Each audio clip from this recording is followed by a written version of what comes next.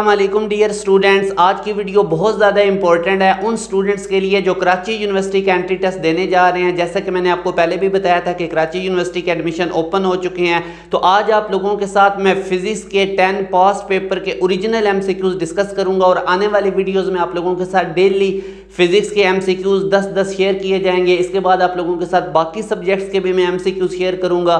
जो स्टूडेंट्स तमाम सब्जेक्ट्स की कराची यूनिवर्सिटी के लिए एक प्रॉपर वे से प्रिपरेशन करना चाहते हैं तो आप हमारे ऑनलाइन सेशन को भी ज्वाइन कर सकते हैं। ये जो नीचे आप लोगों को कॉन्टैक्ट नंबर नज़र आ रहा है, यहाँ पर आप व्हाट्सअप करके हमारे बैच की भी डिटेल्स ले सकते हैं। डियर स्टूडेंट्स पहला क्वेश्चन डिस्कस करते हैं। If a body is moving in a circular path and it has both centripetal and tangential acceleration then its speed तो याद रखें डियर स्टूडेंट सर्कुलर मोशन दो तरह की होती है। एक होती है यूनिफॉर्म सर्कुलर मोशन जिसको मैंने यूसीएम से लिखा है।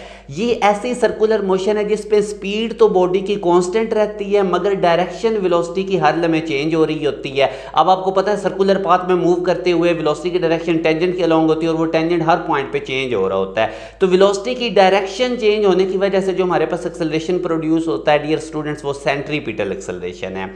इसके बाद याद रखें जो टेंजेंशियल एक्सेलरेशन होता है डियर स्टूडेंट्स ये हमारे पास स्पीड चेंज होने से प्रोड्यूस होता है। अब अगर एक बॉडी सर्कुलर पाथ में मूव कर रही है, मगर उसकी स्पीड कांस्टेंट नहीं है स्पीड वेरिएबल है चेंज हो रही है तो उसके पास फिर टेंजेंशियल एक्सेलरेशन भी होगा।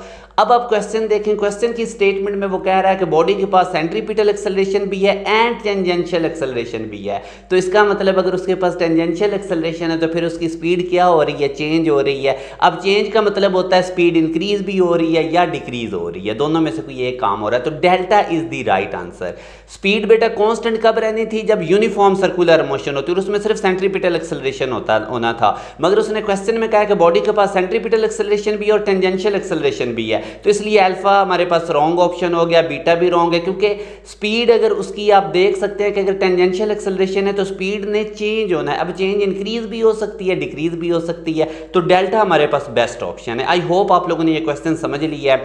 अब नेक्स्ट क्वेश्चन में देखें source and electric motor can lift up weight of 2000 newton through a height of 10 meter in 20 second what is the power of the motor? तो डियर स्टूडेंट सिंपल पावर का formula लगाएँ. Power वैसे W over T होती है, मगर यहाँ पे height भी गिवन है तो W के एमजीएच से रिप्लेस कर दें. डियर स्टूडेंट्स यहाँ पे वेट आपको 2000 न्यूटन गिवन है तो वेट एम होता है, इसकी जगह पे 2000 लिखे हाइट की जगह पे 10 लिखे, और टी की जगह पे 20 सेकंड लिखे. इनकी कटिंग करके हमारे पास जो आंसर आएगा, वो 1000 वॉट्स है, जो कि आप देख सकते हैं बीटा ऑप्शन में मौजूद है.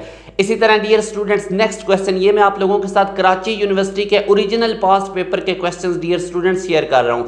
पहला अगला हमारे पास थर्ड क्वेश्चन है। Two bodies are launch with different angle from a same point and they had same range the range would be dear students short trick याद रखें। ऐसे दो एंगल जिनका सम 90 डिग्री होगा वहाँ पे रेंज हमेशा सेम होगी। अब अब देखिए 45 और 75 का सम 90 डिग्री नहीं है इस 30 और 70 डिग्री का सम 90 डिग्री नहीं है। 70 और 20 डिग्री दोनों को ऐड करें तो इनका सम 90 डिग्री है तो इन दोनों एंगल्स पे रेंज सेम होगी if we ignore the resistance Next question dear students, the track formed is Wilson cloud chamber due to beta particle. तो याद रखें एक अल्फ़ा पार्टिकल होता है एक बीटा अल्फ़ा पार्टिकल की आयोनाइजेशन पावर ज़्यादा होती है तो इसका जो ट्रैक होता है वो थिक बनता है और कॉन्टिन्यूस लाइन बनती है। मगर जो बीटा पार्टिकल का हमारे पास ट्रैक बनता है वो डियर स्टूडेंट्स याद रखें इसका मैथ कम होता है तो उसका ट्रैक थिन होता है और ब्रोकन लाइन होती है। नेक्स्ट क्वेश्चन अगर आप लोग देखें तो यहाँ पे इसका अल्फ़ा राइट आंसर है। इसमें वो कहता है the speed of sound in air does not depend upon book line है हमें पता है स्पीड ऑफ़ साउंड प्रेशर पे डिपेंड नहीं करती।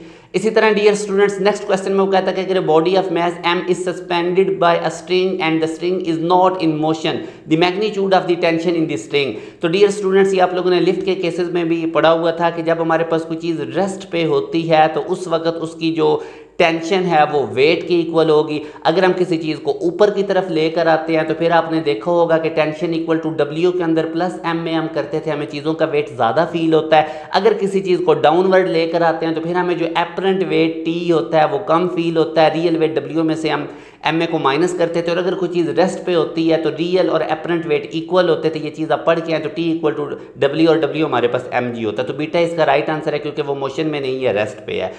इसी तरह dear students next question the speed of sound at the temperature of 30 degree centigrade is approximately equal to temperature देकर स्पीड ऑफ़ साउंड पूछ रहा है तो ये हमारे पास रिलेशन है, थोड़ी सी कैलकुलेशन करनी पड़ेंगी।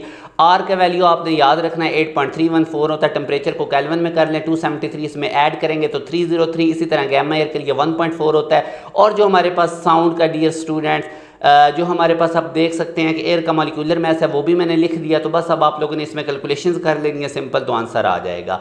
इसी तरह dear students next question the fringe spacing in a double slit experiment can be increase by decreasing तो ये हमारे पास डियर स्टूडेंट्स का फार्मूला है फ्रिंज स्पेसिंग का लेमडा एल ओवर डी अगर हम स्लिट सेपरेशन डिक्रीज करते हैं तो हमारे पास जो फ्रिंज स्पेसिंग है, जो हमारे ये इंक्रीज हो जाएगी। तो यही उसने पूछा था, क्या चीज़ डिक्रीज करने से फ्रिंज स्पेसिंग इंक्रीज होंगी? तो वो जो चीज़ डिक्रीज करनी है, वो स्लिट सेपरेशन है। नेक्स्ट क्वेश्चन में वो कह रहा है according to the kinetic theory of gases the absolute temperature of a gas dear students ये लास्ट चैप्टर है फिजिक्स का तो ये हमने पढ़ा था कि pressure is directly proportional to the absolute temperature of perfect gas और इसी तरह pressure is directly proportional to the kinetic energy of the ideal gas ये भी हमने पढ़ा था। तो इसका अल्फ़ा हमारे पास राइट आंसर है। लास्ट क्वेश्चन आज का two equal charges each of one coulomb are held one metre apart in free space exert a force of magnitude तो डियर स्टूडेंट्स ये कूलम फोर्स का फार्मूला है क्यू वन भी one है Q two भी one है R भी one है तो एफ़ के की इक्वल होकर क्या है के की वैल्यू हमारे पास होती है नाइन टेन की पार नाइन तो ये डियर स्टूडेंट्स तमाम क्वेश्चन थे जो कराची यूनिवर्सिटी के ओरिजिनल पेपर के मैंने आप लोगों को क्वेश्चन सॉल्व करवाए हैं. यूट्यूब चैनल को सब्सक्राइब कर लें व्हाट्सअप चैनल को फॉलो कर लें. आने वाले दिनों में भी आप लोगों को बहुत इंपॉर्टेंट मटीरियल कराची यूनिवर्सिटी के रिलेटेड मिलने जा रहा है. डियर स्टूडेंट्स तमाम सब्जेक्ट्स की तैयारी करना चाहते हैं तो हमारे ऑनलाइन सेशन को भी आप ज्वाइन कर सकते हैं. इस दिए गए कॉन्टैक्ट नंबर पर व्हाट्सअप करके zero three zero four zero triple six triple zero अपना ख्याल रखिएगा दो में याद रखिएगा। अल्लाह हाफिज़।